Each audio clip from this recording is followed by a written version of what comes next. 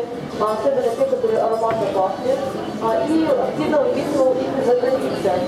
А, Мы видим поместье, украшенное такими померанцевыми деревьями, они все растут в касках, а, то есть колонии винограда, они собирали в оранжерею, а когда петлело, их выносили и украшали ими территорию Армянского дворца.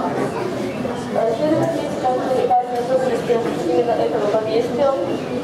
А, Это первое загородное резиденция такого типа, единственное э, среди пригородов Санкт-Петербурга, э, которая изначально строилась как э, княжеская резиденция, не для императорской семьи, э, не для царей, не для императоров, а именно как для, для князя. Кроме того, это единственный дворец, который не пострадал за годы Великой Отечественной войны. Немцы не смогли занять Ананибалский плацдарм благодаря мужеству защитников э, этой территории. Э, Кроме того, э, из Кронштадта, благодаря близости Кронштадта, военно-морской флот также держал оборону этого участка. Кстати, крейсер «Аврора» также участвовал в защите Ананибалского плацдарма именно с моря.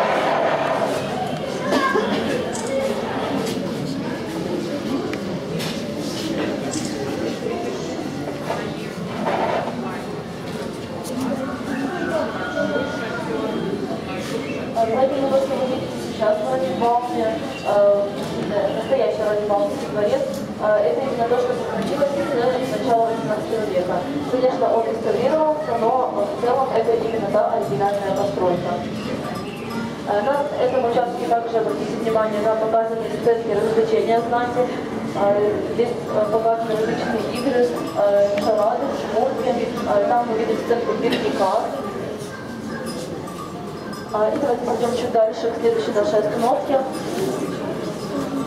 А, По пути на следующую остановку посмотрите здесь также сценку выпаса коров.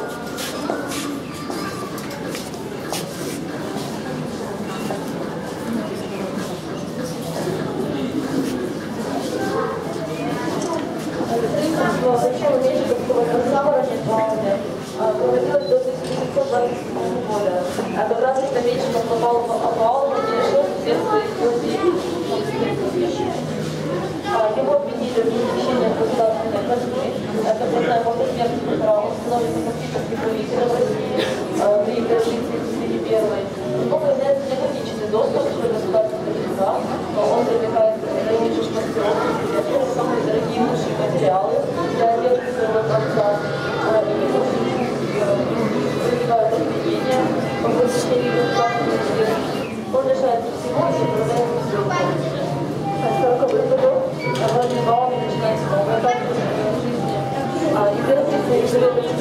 Это поместье с своим племянником а, Петру Федоровичем, будущим императором Петру Третьему. А, Где он возводит а, Владимирскую крепость, она не дошла до наших дней.